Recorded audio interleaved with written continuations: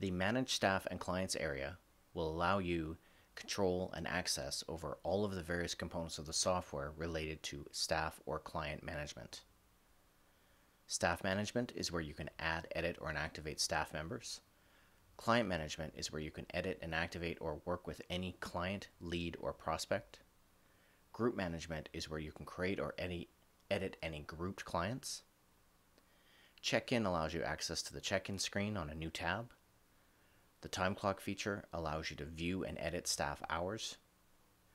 You can add a new client or add a new lead.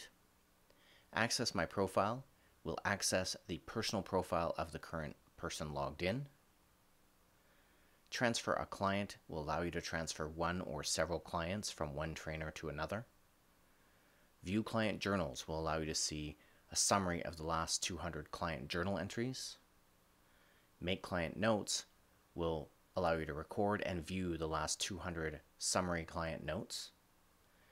And category types will allow you to create categories that then you can assign clients to for easy tracking and email systems.